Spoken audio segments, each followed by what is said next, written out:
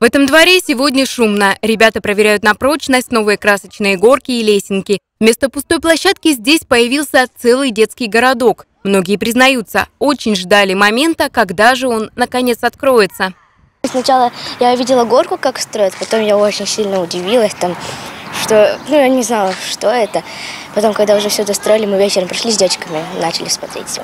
Скажи, пожалуйста, тебе нравится площадка? Да, очень сильно. Ребята говорят, они уже даже придумали новые игры в детском городке.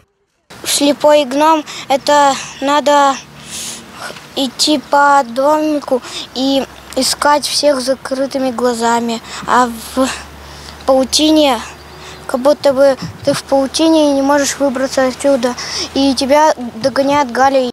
Местные жители рассказывают, лет 20 назад тут была красивая площадка, но с течением времени все конструкции разрушились. Детям стало негде играть. Что могли жильцы этого дома мастерили своими руками. Но создать такой городок, который сделала компания «Наш двор», они вряд ли смогли бы. Поэтому такому подарку здесь очень рады. Мне понравилась детская площадка. У меня маленький ребенок, четыре с половиной. Старший, конечно, уже 7, 16 лет, он уже не будет играть, конечно. Маленькому вчера понравилось, он с удовольствием катался, играл. Хорошо, что построили, сейчас буду с внуком гулять. И с внучкой, с любимой, с Настенькой.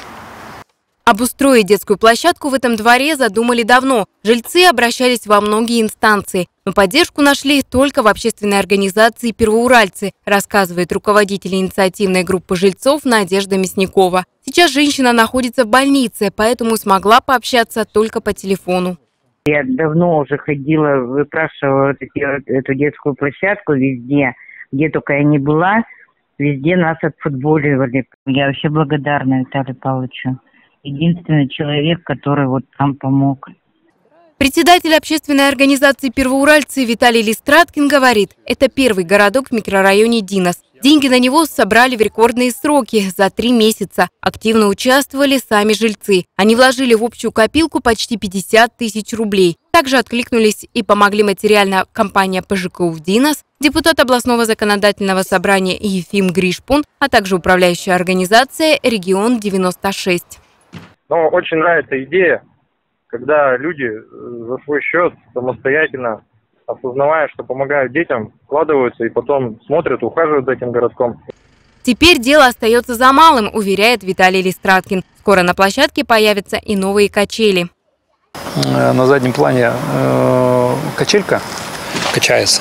Она без э, качательных принадлежностей. Э, я думаю, что мы подберем что-нибудь такое, какое-то сиденье достаточно безопасное и прикрутим его, то есть будет полноценная качель. Общественники надеются, что жители будут следить за чистотой и порядком на детской площадке, ведь тогда все конструкции прослужат долго. Это уже 12-й городок, который открывает общественная организация «Первоуральцы». Сейчас на очереди еще один современный игровой комплекс. Он появится уже в июне во дворе на проспекте Космонавтов. Александра Поддубная, Владимир Махмутов, Сергей Шемет, Интера ТВ.